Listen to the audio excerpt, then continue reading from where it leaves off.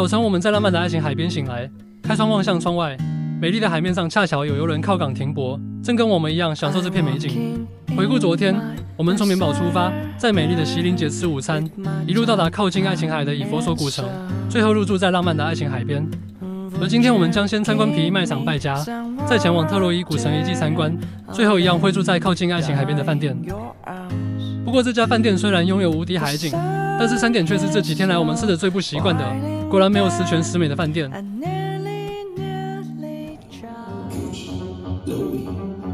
今天的第一站是购物行程。土耳其是欧洲许多知名品牌的代工厂，因此这里生产的皮衣很有名。我们像是在参观一场皮衣时装秀，当地的模特儿展示卖场里的皮衣，最后还会邀请客人充当模特儿，一起到伸展台上走台步。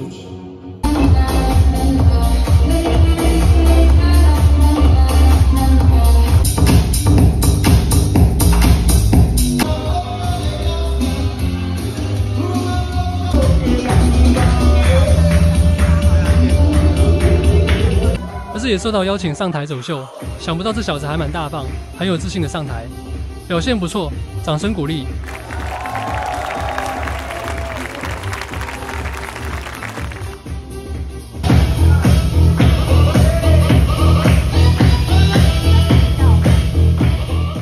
看完走秀，接着就是到卖场厮杀，而我们也买到自己喜欢的商品，但就因为逛得太开心，都忘记记录下来了。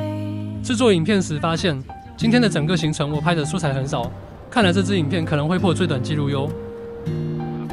Hello，你好，再见。你现在在什么地方？现在在特洛伊。特特洛伊是什么样的故事？木马木马的故事，对不对？这个被开后门的故事。对，因为从外面打不进去，所以就派人从里面把城门给打开了，从里面攻出来，就打了十年的。那个特洛伊的战争啊，久攻不下。那神话故事里面呢，最后是希腊的联军，哎，那个希腊的军队呢，用了木马。有这个，切兵这样。不是啊，现在应该在哪边我也不知道，要去找找看。特洛伊遗址是一个具有历史意义的古代城市遗址，被认为是荷马史诗中特洛伊战争的舞台。在特洛伊遗址中，你可以看到许多建筑遗迹，包括城墙、宫殿、神殿。剧场和图书馆等，而木马屠城记是特洛伊战争中最著名的事件之一，也是希腊神话中的一个故事。随着遗址的发现，也让这个故事多了一些可能的真实。由于在参观这儿时，我的耳机坏掉了，因此没办法听到导游和领队对各个遗迹的详细解说，所以也只能走马看花，等到回台湾时再看资料回顾了。后面这边呢，就是特洛伊的遗址。目前呢，就是走在这个观察观察的路径上面。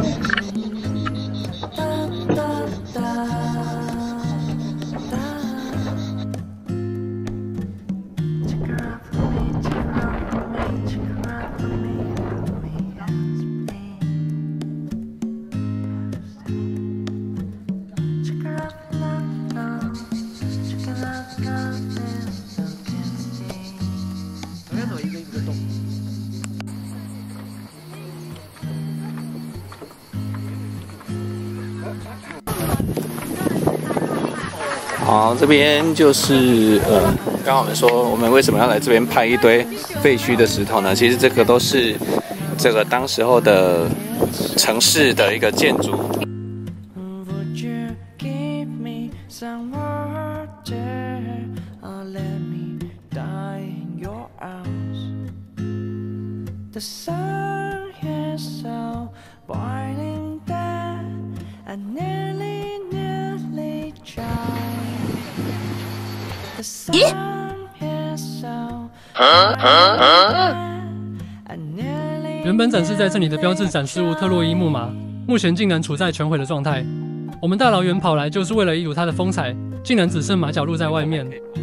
已经整个崩毁了。那我们前面外面看到的这个就是它的脚，其他的在里面整修。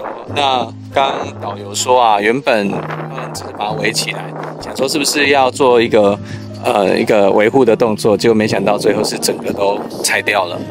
那呃，两只木马一直在这边嘛，那一直在港口那边。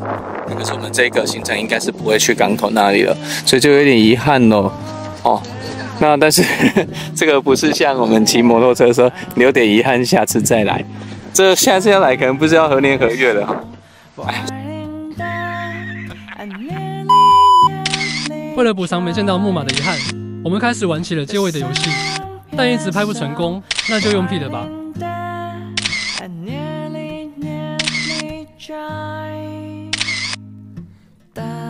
结束了特洛伊的行程，我们就要出发到饭店歇息了。对我而言，没看到木马真的是留下了遗憾，期待未来还有机会重新再来一次。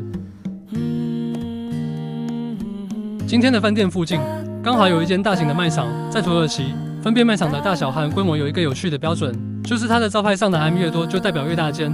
而今天这一间卖场有五 M，大概跟台湾家乐福大卖场的规模差不多。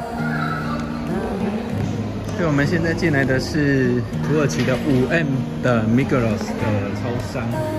五 M 呢，刚的意思就是，如果它越多的 M，就表示它的规模是越大的。那五个 M 是最大的，哦，就表示里面呢有卖衣服的啊，卖鞋子的，就跟台湾的家乐福、家乐福的大卖场是类似的一个规格。那昨天我们去的去的家乐福超市，就像我们在台湾的那个。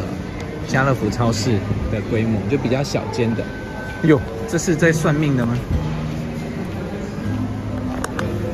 在土耳其旅游的这几天，我们只要到休息区或卖场，几乎都会去寻找哥代拜的巧克力。一方面是因为好吃，另一方面也是因为在台湾卖的很贵，但在土耳其就是很便宜的价格。而每家卖场的哥代拜巧克力价格高低也被我们当做比价标准，还蛮有趣的。然后我们买到。找了很久的罂粟籽、罂粟籽口味的这个多利多汁。那第一天的时候，导游就跟我们介绍这个口味的多利多汁，但是呃，在每在在那个休息站的时候啊，都被清一扫而空了，所以我们都没吃到。好，那在这边终于买到了。来来，接着呢，我又买到了这个刚刚在 Google 上面找到的土耳其的本地的啤酒。叫做 F E E S 这个品牌，那我也不知道哪一个比较好喝，所以呢，我就随便拿了一支，待会就来试试看。采买完毕，接着就是回饭店享受咯。我们下次影片见。